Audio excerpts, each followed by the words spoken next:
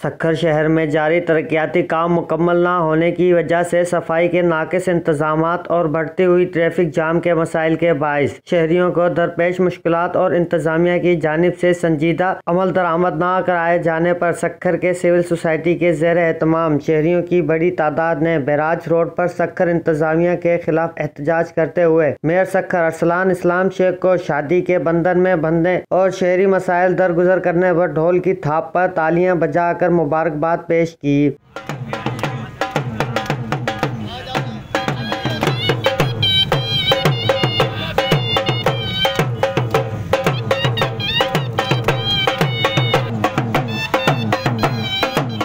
مظاہرے میں شامل ایک شخص نے میئر سکھر کی تصویر سینے پر چھپائی ہوئی تھی۔ مظاہرے کی قیادت سول سوسائٹی کے نمائندگان اشفاق بھٹی، وقار علی، سمرو، عبدالحمید شیخ اور دیگر کر رہے تھے۔ اس موقع پر نمائندگان نے رہائشی اور تجارتی مراکز میں صفائی، ستھرائی سمیت ڈرینیج کے ناقص انتظامات کے باعث درپیش مشکلات پر سکھر انتظامیہ سمیت پبلک ہیلتھ ڈپارٹمنٹ کو سخت تنقید کا نشانہ بناتے ہوئے کہا کہ شہر کو پیرس بنانے والوں نے شہر کو کھنڈر میں تبدیل کر دیا ہے۔ Shikarpur road, barrage road, Shikarpur پھاٹک روڈ مائکرو کالونی روڈ، نمائش گراؤنڈ، چوک، مقام روڈ اور دیگر علاقوں میں جاری ترقیاتی کام اب تک مکمل نہیں ہو سکے ہیں، جس کی وجہ سے صفائی تو درکنار ٹریفک مسائل میں بھی آئے روز اضافہ ہو رہا ہے۔ متاثرہ علاقوں کے مکین سمیت دکانداروں کو شدید مشکلات کا سامنا ہے، لیکن شکایات کے باوجود کوئی بھی سرکاری افسران یا عوامی نمائندہ کان دھرنے کو تیار نہیں ہے۔